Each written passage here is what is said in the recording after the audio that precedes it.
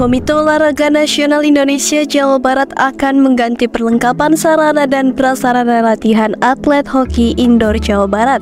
Hal itu merupakan wujud apresiasi KONI Jawa Barat kepada atlet hoki indoor Jawa Barat atas prestasinya pada ajang SEA Games 2023 di Kamboja. Atlet hoki indoor Jawa Barat berhasil memperkuat skuad timnas hoki indoor Indonesia yang meraih medali emas. Sebagai wujud apresiasi kami, KONI Jawa Barat tadi ada keluhan mengenai alat dan perlengkapan pertandingan dan latihan hoki indoor yang masih kurang baik.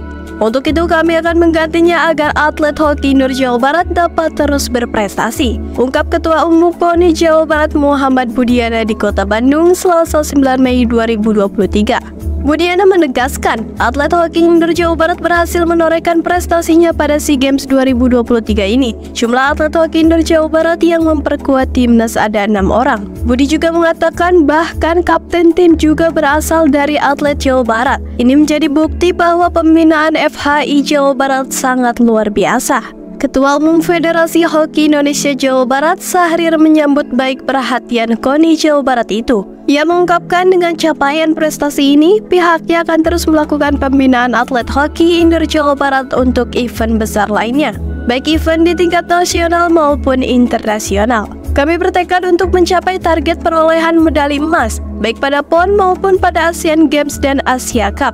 Kita akan terus godok atlet hoki Jawa Barat ini, ungkap Syahrir. Terkait peralatan hoki, Sahrir menambahkan, memang para atlet ini sudah memiliki peralatan hoki, akan tetapi pihaknya memiliki keinginan agar dalam menyambut PON dan event lainnya, atlet hoki indoor Jawa Barat sudah memiliki sarana dan prasarana yang mumpuni. Kita memang punya keinginan ke depannya bisa memiliki sarana dan prasarana hoki indoor yang mencukupi, terutama soal sarana dan prasarana lapangan hoki indoor yang saat ini masih kurang. Ecep Harapan Rakyat Jawa Barat